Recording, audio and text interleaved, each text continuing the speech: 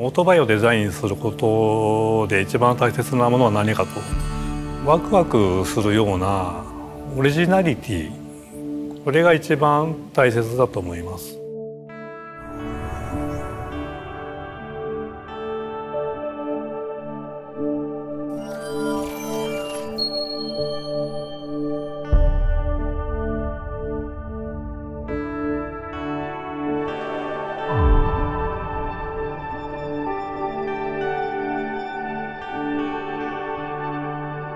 20年モデルの CBR1000RRR これを、まあ、カタールで試乗会をやった時に、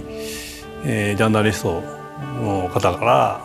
まあ、初代のカラーリングとこれをイメージしたカラーリングをやってくれませんかねというリクエストがあったと聞いてますと。でそういうところもあって、えー、初代の PL をやった僕に声がかかったんだなというふうに思ってます。ファイヤーブレードはですねエポックメイキングな存在だったと思うんですね。役割としてはデザイン PL デザインプロジェクトリーダーということですね。これはデザイン部門として開発チームの一員としてデザインに責任を持って量産化まで持っていくと。あの目標値がとっても高かったんですね、えー、馬場さんの言われる今まででないスーパースポーツを作るんだと。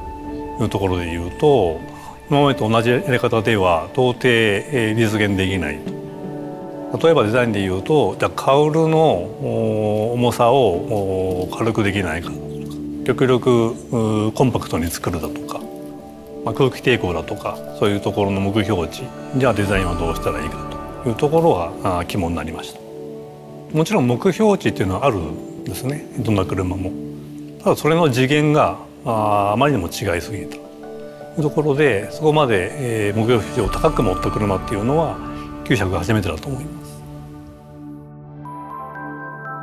えー、30年記念モデルを作るからそれのカラーリングの PL になってくださいという話がありました。それを聞くまではあ30年経ったんだという意識は自分の中にはなくて、えー、言われて初めてあそうだったんだなというふうに思ったのが最初です。で当時そのカラーリング自体は欧州のトレンドであったブラシパターンを使ったりとかあとはレプリカらしい、えー、色分けだとかそういうのを目指してカラーリングをしましたと。じゃあ新しい、え、カラーリングするにはどうしたらいいかと92年モデルのオマージュですね昔の持ってるいいところ例えば DNA みたいなところあると思いますのでそれ特徴を生かしつつ今の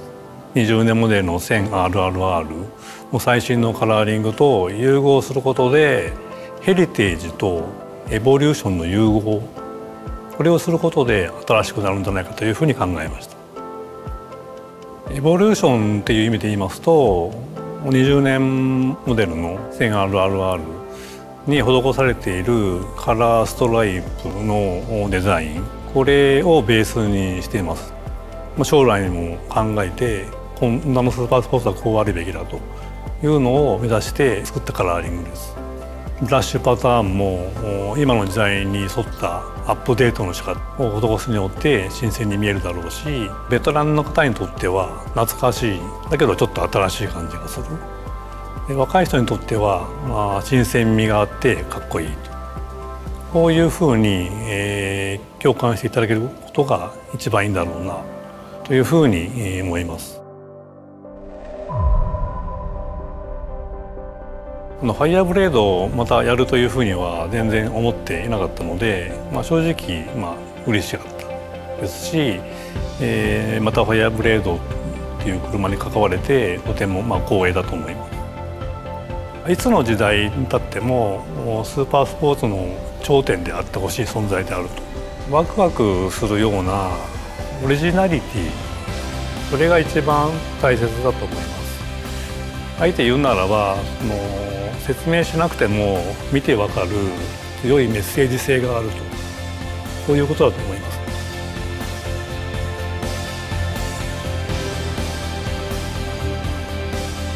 かっこいいですねと言われるのが一番の褒め言葉だと思います。